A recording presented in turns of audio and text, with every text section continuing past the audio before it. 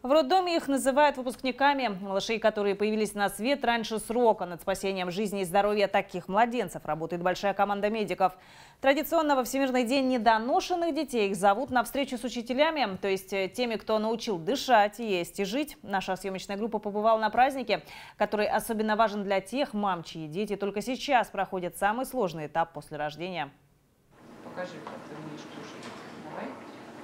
Давай. Дома нас ждут девчонки, наши сестренки.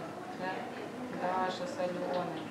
Основная задача Руслана – научиться есть из бутылочки. Практикуется третий день, можно уже 15 миллилитров. Остальное грудное молоко по привычной схеме, через зонд. Старшие сестры ждут маму с Русланом с 26 сентября. Даша и Алена родились также в городском перинатальном центре 4 года назад и тоже недоношенными.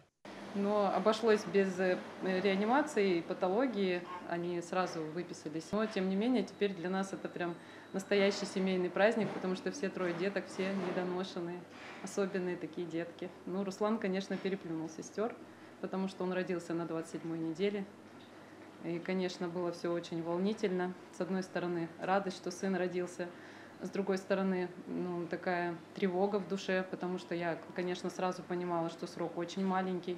Роддому уже больше 40 лет. Тех, кто появился на свет раньше срока, в медучреждении выхаживали с самого начала. Сейчас возможностей больше. В этом году через отделение прошли 260 недоношенных новорожденных. Из них 30 с экстремально низкой массой тела, меньше килограмма.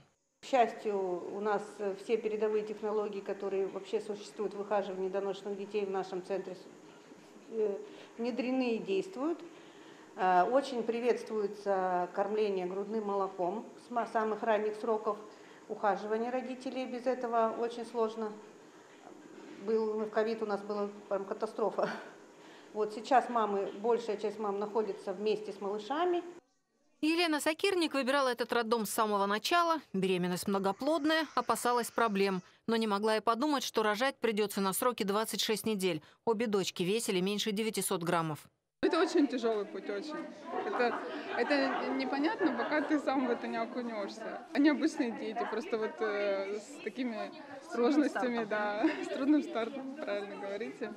Ну, ничего, все преодолимо, если верить в себя, в детей, в врачей, которые тебя окружают и поддерживают.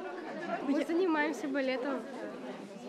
Ну, не знаю, я очень творческая, я много чего делаю. Всегда что-то интересно делать там рисовать, читать.